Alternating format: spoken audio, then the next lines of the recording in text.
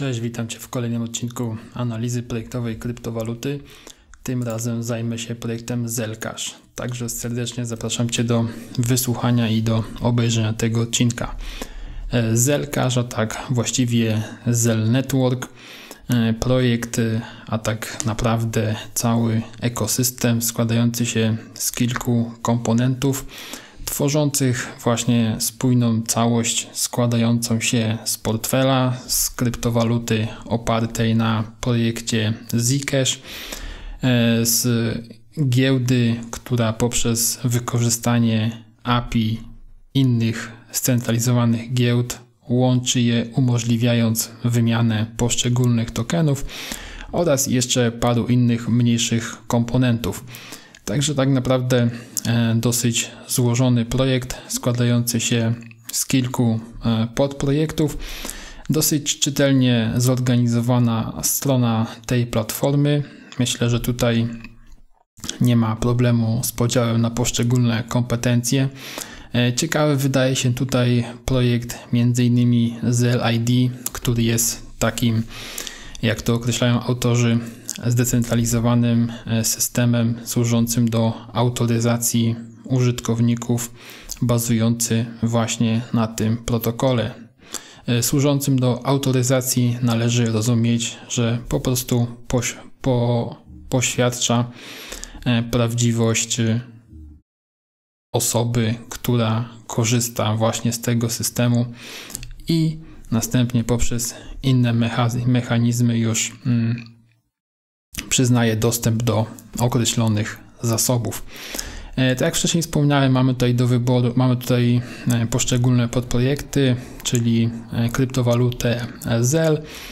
Jest to waluta oparta o odmianę algorytmu uzyskiwania konsensusu Proof of Work. Wykorzystuje algorytm właśnie Equihash, oczywiście zmodyfikowany i bazuje na rozwiązaniach Zero Knowledge Snarks który właśnie bezpośrednio wywodzi się z Zcasha. Mamy również portfel, który e, umożliwia przechowywanie wielu, ponad 200 tutaj e, projektów kryptowalutowych. Mamy również kod źródłowy Noda tworzącego całą, e, całą sieć, cały blockchain. Także tutaj ewidentnie bardzo e, rozmyta funkcjonalność, bardzo dużo komponentów i tak naprawdę moim zdaniem ciężko jest tutaj odnaleźć to, jaki jest cel tego projektu, co tak naprawdę tutaj autorzy chcą zaprezentować, czym się chcą wyróżnić. E, ale o tym może jeszcze parę słów później. E, odnośnie właśnie projektów, czyli kryptowaluta, źródło całego protokołu, nody utrzymujące sieć oraz identyfikator. Oczywiście tutaj mamy również dostęp do kodów źródłowych poszczególnych, poszczególnych e, właśnie podprojektów. Jeśli chodzi o roadmap, to tutaj dosyć fajnie to wygląda.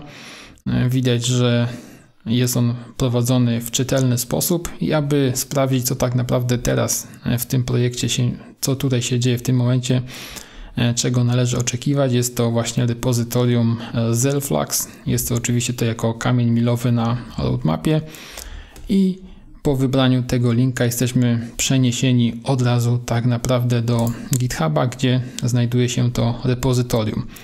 I tutaj już widać e, pierwsze opóźnienie z tego względu, że termin dla tego projektu, dla tego kamienia milowego został określony na pierwszy kwartał roku 2020.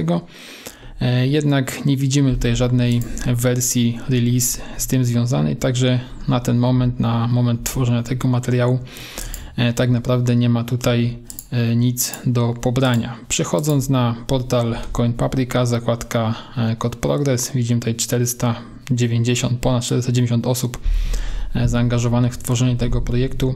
Oczywiście wynika to z faktu, że jest y, główne depozytorium, które jest śledzone właśnie przez portal CoinPaprika, czyli y, Zelcash.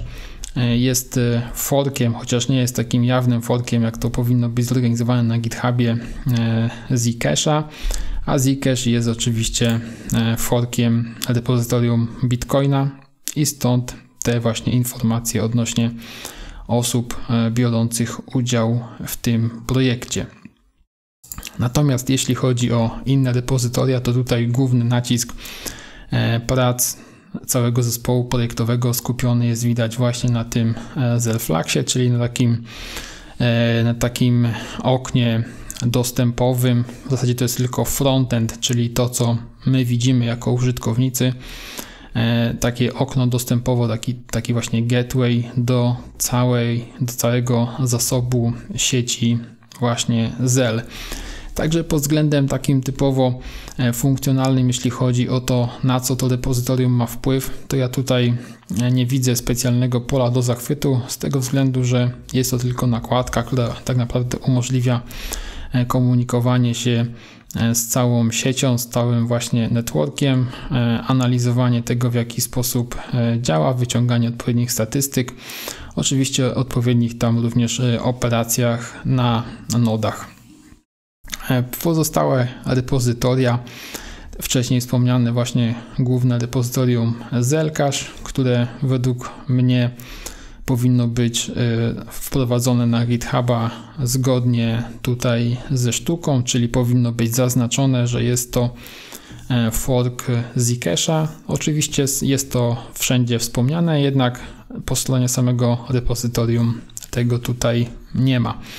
Jeśli chodzi o to, w jaki sposób e, zespół dba tutaj o bezpieczeństwo, to odsyła on, o, odsyła on do głównego repozytorium, do głównej strony E, właśnie Zcache'a, bo z tego co tutaj widać, e, większość kodu źródłowego tego projektu jest właśnie pobrana z Zcache'a, stąd też e, wszelkie aspekty związane z bezpieczeństwem w Zcache'u również pośrednio dotyczą projektu ZEL.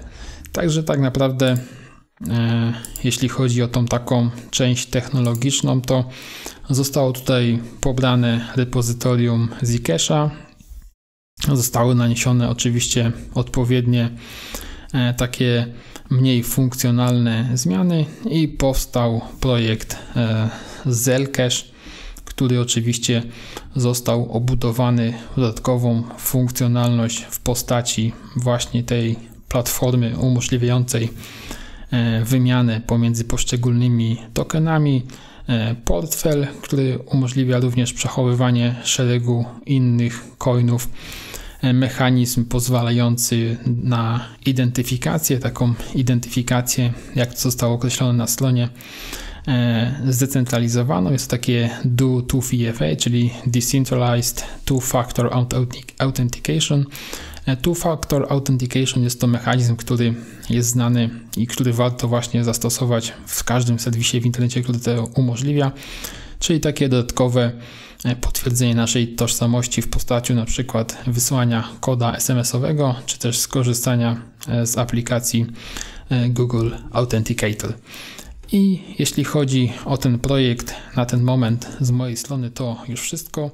Jeśli chodzi o opinię to myślę, że projekt tutaj trochę ma e, rozmytą funkcjonalność. E, tak naprawdę ciężko wywnioskować, do czego autorzy dążą i na czym głównie się skupiają, ze względu na to, że realizują kilka różnych podprojektów jednocześnie.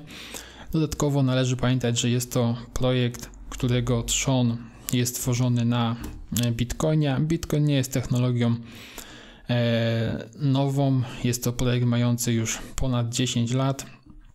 Oczywiście w, e, w formie tutaj Zcache'a został zupgrade'owany poprzez projekt Zcache'a. Natomiast e, myślę, że są dużo ciekawsze i lepsze projekty w tym zakresie. Niemniej jednak tutaj mamy cały ekosystem, który jeśli zostanie dobrze poprowadzony, myślę, że jakąś niszę na rynku może sobie zagospodarować. Jednak nie liczyłbym, jeśli chodzi o ten projekt, na jakąś masową adopcję, a tym bardziej na wydajność, którą może ten projekt zapewnić. Oczywiście zapraszam do zadawania pytań w komentarzach. Na ten moment to już wszystko. Dziękuję Wam, cześć.